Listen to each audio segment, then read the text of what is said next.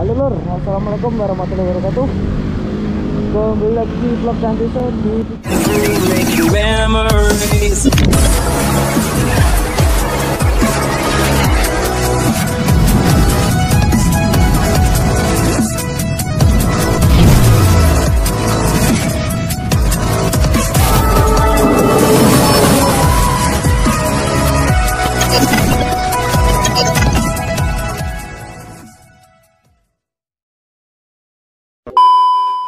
Kali ini saya mau ngabuburit bersama Bangga tetep dan Keke koncone lur. Kita ngabuburit tanangnya yo. Kita ngabuburit ke Taichung lur. Lihat-lihat ukti jadi lihat apa pak? Gila ukti? Boleh takjil. Gila takjil. Good job. ya bagaimana lur ya? Kalau puasa di Taiwan itu godaannya mata itu sangat banyak lur terutama orang Taiwan sendiri kalau berpakaian musim panas itu ya terlalu terbuka. Jadinya otomatis mata kita itu ya melongo loh melotot loh roh ini otomatis. Jadinya ya mungkin pahala puasa hari libur itu sedikit. Dikarenakan mata tuh selalu melihat pakaian yang terbuka didelok dosa. ya oh didelok dosa ora didelok. Mubazir wae yo. Nah kata Pak Dani juga gitu loh. Didelok dosa ora didelok mubazir. Jadi punya saran sih lor kalau puasa buat mas-masnya di Taiwan di rumah saja. di rumah saja jangan keluar. Kalau udah buka nggak apa-apa silahkan keluar. Kalau belum buka puasa jangan keluar dulu karena godaan mata itu sangat besar tidak mungkin kalau lelaki normal tidak melihat kalau ada yang sangat terbuka. Kita jalan sekarang kita di depan Taman Taichung lur. Ini mau jalan ngabuburit mubeng-mubeng di depan piramid Taichung sana. Biasanya ramai anak Indonesia di sana. Ini macet lur ya ini buat teman-teman yang belum paham kalau seandainya ini di depan taman ini kalau mau ke belok ke kiri jangan langsung ke kiri lur karena nanti ditilang. Ini harus belok ke kanan dulu itu lurus lurus berlurus baru belok kiri. Berhenti di kotaan itu lur kalau lanjut langsung kiri nanti bisa ketabrak juga ketilang. Jangan sembrono lur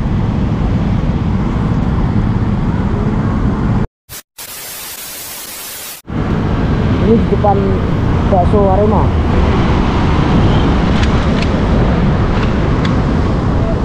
Ini bakso Arema kaos. Ini tadi nanti nggak tahu dilewatin mana jalurnya. Mungkin ke kanan. Oh iya ke kanan. Kita belok kanan dulu. Ya apa tuh klakson klakson nih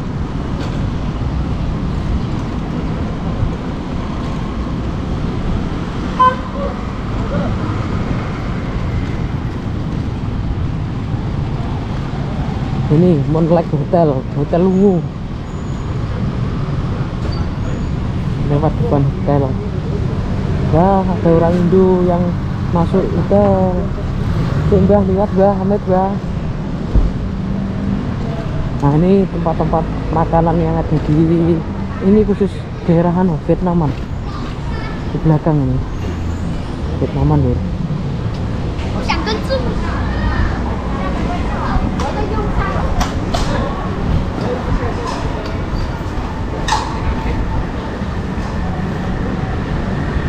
kita belok kiri. Dan ada belok kiri. Kita tututi. Nah kanan jalan ini udah piramid loh. Tuh kan kayak gini udah ada buku nah godaannya kayak gitu lor kalau puasa di Taiwan itu. Enakan puasa puasa di Indonesia bisa kusuk puasanya. Oh ini ada toko sepeda listrik. Karyawan. Oh ngendi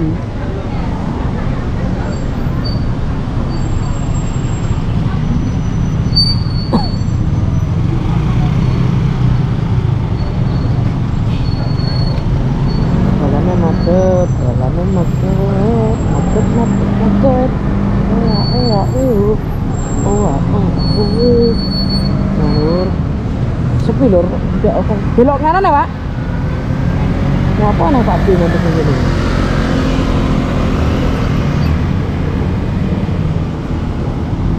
Keliling Pak Di. Menertibkan apa ya Pak Di?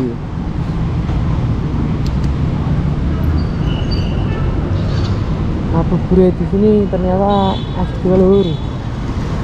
Mas, teman-teman Indo lur lagi ngabuburit. Ngabuburit di depan piramid. Ada yang berduaan, ada yang kelanangan semua. Depan ada seorang Dio. Oh. Ada Pak D. Ngabuburit dikawal Pak D lur. Baru kali ini. Ya mak ya. Ngabuburit wis poso 20 dino sik dikawal Pak D saiki. Sepi lur, biasanya rame lho piramide lur. Lek dino libur ini ya. Ini ki sepi.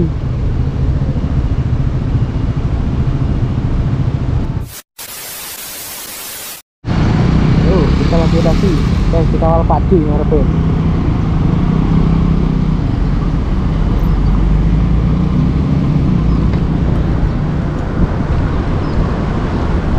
Katanya Pak D suruh lurus aja lur. Jangan ngikutin dia. Saya mau patroli. Oh, ini jalan terus pinggir kali.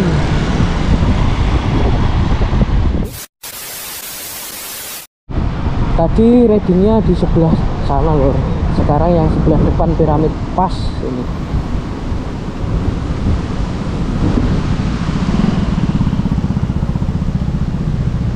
Sepi, padahal tanggal tanggal 2 ya, belum oke sing gajian iki. Tanggal tuwek sini iki bukannya tanggal muda malah.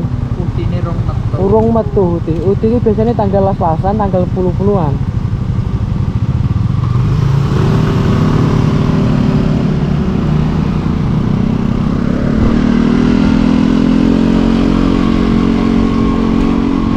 Sepi, Pak Dito. Eh, mah hati-hati ya.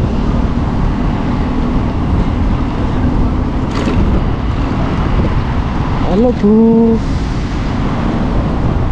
Banyak Pak D lur. Saya tahu kenapa itu. Enggak Pak D. Kok Pak D sangat bertebaran? Ini apa ya? Aneh apa tuh bingung Pak? Kok keman Pak D bertebaran? Operasi ya? Lewat tadi.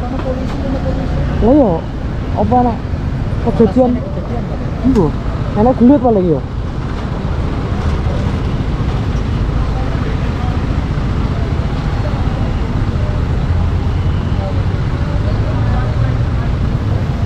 Rame loh jalan ini. Saya hitung untuk saat ini tanggal 2 ini kok banyak Pak D yang mubeng-mubeng muter-muter itu mbuh nyari gila ya apa. Ya mulai sekarang ya teman-teman sing swasta rada hati-hati lah hati-hatilah sedikit jangan terlalu barbar. Ya, Pak D di Tai- kawasan Taichung banyak banget.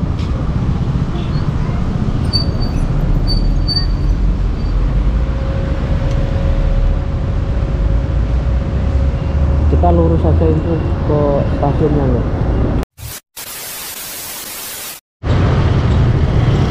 Astagfirullah lur ini lho lur. Tak omong memang Subhanallah walhamdulillah.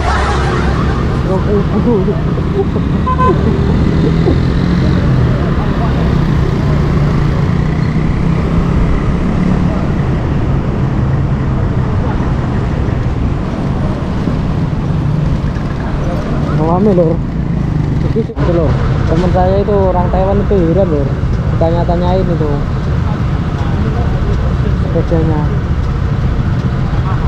kata siapa itu kok orang Taiwan gak suka sama sepeda listrik punya anak Indo ini kan?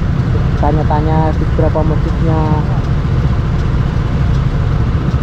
Heran juga kreatif kreativitasnya yang penting taati peraturan lah loh ini di belakang saya juga lihat sepeda dulu mau tasuk juga enak mau tengok kiri. Orangnya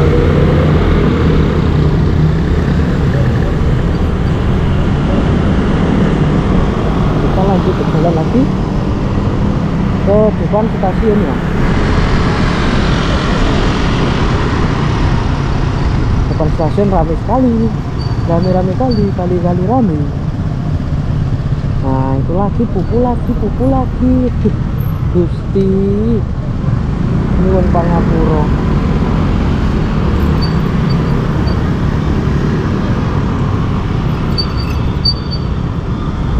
ini dibetulin loh dorong-dorongnya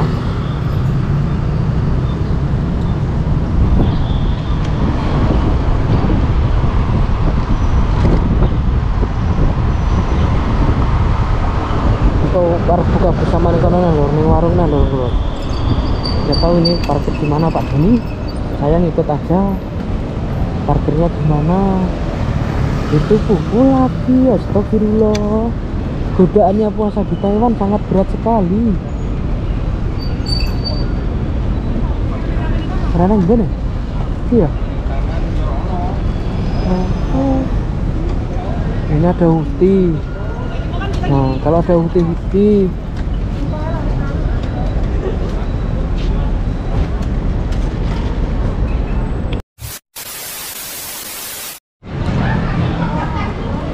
Lur, ini untuk menunggu azan maghrib sementara kita mandek sih neng warung sederhana Mburi stasiun lur Wih, warung sederhana Arab acara buka bersama warung sederhana lur ini nunggu azan maghrib deh Oke pak, wis kelak. Ngene tok. Sarang yo. Sarang yo. Lemes iki pisan. Lemas dan tidak kuat lor. Wes cukup semono lor ya video ngabuburit ojo lali di like, di komen, karo di subscribe. Ya. Sekalian di share ke media sosial kalian biar